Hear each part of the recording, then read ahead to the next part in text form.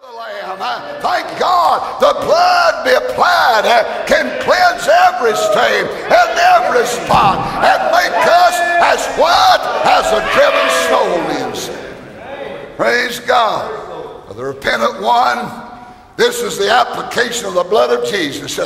Bring them to a state to where they're made the righteousness of God.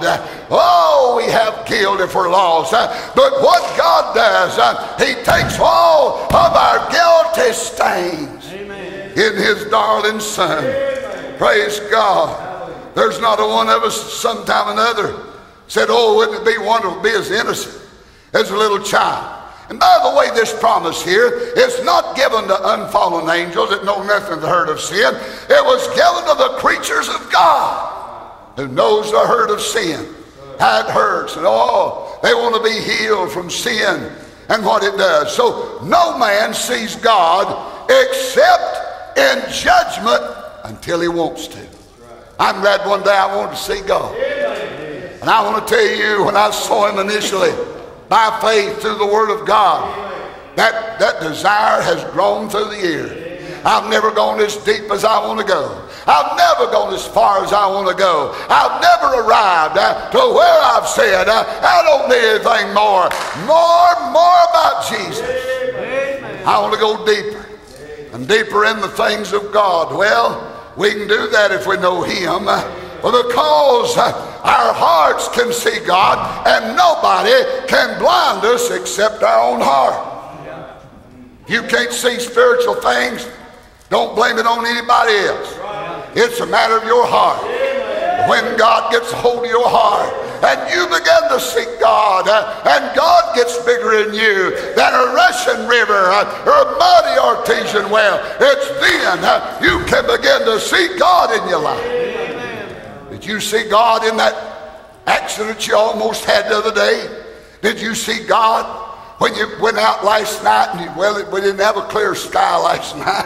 But on a clear night, step out and look up and see the stars. The Bible said the firmament declares the glory of God, His handiwork. Oh, yes. I want to see God, don't you? We love Him not blindly, but uh, because He's holy, because of who He is, that's why we love Him. Somebody said, I don't have to have a reason to love God. Well, I don't know about that. John said, I love Him because he first loved me. There's nothing wrong with having a reason to love God. I love it because he's holy, holy, holy, Lord God Almighty. He never makes a mistake. He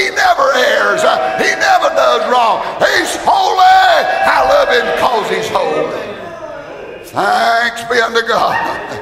Boy, I feel good in my soul this morning.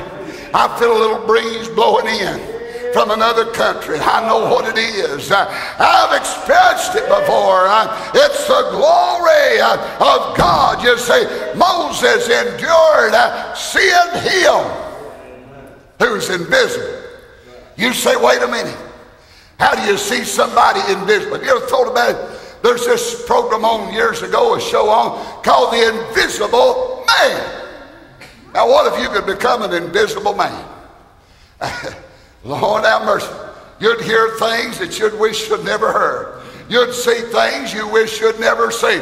If you could become uh, an invisible man, well, you see, I don't have to get invisible, but I look unto him who is invisible. Amen. Seeing him. Who is invisible. You say, well, if it's invisible, you can't see him. Depends on how you're looking at it. God said spiritually, you can see him with the eye of faith. Hallelujah. You can see God uh, by seeking God. Continue to seek Him. Continue to serve Him. And your eyes uh, will behold Him uh, in all of His beauty and all of His glory. What you need to do is go to your mental attic and start cleaning out everything that's impure, everything that's selfish everything that's unkind uh, and clean that out. Uh, and you'd be surprised uh, what you'll begin to see, what you'll begin to perceive, what you'll begin to enjoy when you clean the attic out. in your life. We've been having to clean up old my mother-in-law's house. Ruth was a good housekeeper, but Lord, she kept everything. I believe she kept every card that everybody ever sent to her. I mean, there are cards from the girls and the boys uh, going way back. She kept, seemed to keep everything. Uh, but uh, there comes a day that you got to clean out. And brother, if we want to see God, we better do some house cleaning. Some of you think you're going to see God. You listen to this old rock music during the week, and this hellish, and I'll say it and I'll put that adjective on it. This hellish country music. Talks about the bar rooms and who's in bed with whose wife and all that crazy mess. Spirit cried over a beer, a, a, a jug of beer. God help! You're not going to see God unless you do some house cleaning, unless you get rid of some of these things that's crowding God out of your life. Amen. Oh, yes. Seeing God. Moses endured as seeing him who is invisible. And you know what Moses said? He said, Show me thy glory. That's somebody wanting to see God. That's somebody seeking God. I, Jesus said, I do nothing of myself. But as my Father taught me, I always do those things that please Him. And disobedience to God brings clutter in your life, clutter in the attic of your mind. For God to move about as He wants to, some of that clutter has got to be cleaned out. You see, when we no longer seek our own glory, and our own things, and we have singleness of mind toward God, unmixed emotion, unadulterated heart, our eyes, our thoughts, uh, our aims, uh, they're zeroed in on God. Uh, oh, listen to me. If that's the way it is, you're going to see God. Amen. You see Him going down the road in the car behind the steering wheel. God gets so big you feel like you got to pull off the side of the road.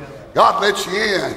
Maybe by the bed at night when you have your devotion and the day has wearied you and you're tired physically and you're worn out emotionally uh, and you get down to the bed uh, and there's something settles down in your heart. There's something swells up in your heart. You're seeing god when that happens. Amen.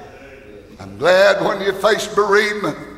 The loss of loved ones like many of our folks have in the last while. And it looks dark and in the darkness you begin to settle your mind on God. Settle your affections on the Lord undividedly. I want to tell you something. In the darkness of night, you can see God. I found out with satellite connection, when the cloud cover gets too heavy, the signal won't go through. You're out in the cold until the clouds go by and the blockage is gone. Uh, I'm telling you something. Uh, the signal between here and glory, it can get through every time. Amen. Praise God. Blessed are the pure in heart, for they shall see God. Alfred Lord Tennyson lay dying, and he said to his oldest son, who is an administrator, he said, Son of all the poems I've written, he said, make sure that crossing the bar is the last poem in the book. Well, he did that, I don't know, unless Tennyson wanted to leave in the minds of those whose testimony that his deepest desire, his utmost desire, his primary desire was to see the Lord. Here's what Tennyson wrote I hope to see my pilot face to face when I have crossed the bar. Well, glory. God's people in this life, men made righteous, having a new nature and a new life. We can see God as we seek God.